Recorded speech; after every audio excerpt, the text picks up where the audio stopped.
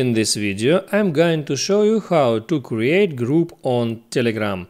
That's quite simple and easy, so let's begin. First open up your Telegram application and to create group on Telegram just tap on that icon at the top right and here select new group.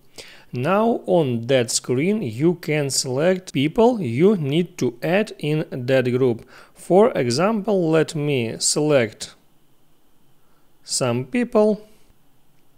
I select five of them and now if I tap next, here I can select group na name and I can check all the people that I added to that group.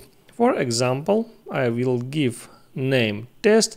Here also I can select a photo for that group. I'll select that one. And now to create group, just tap on create button right here.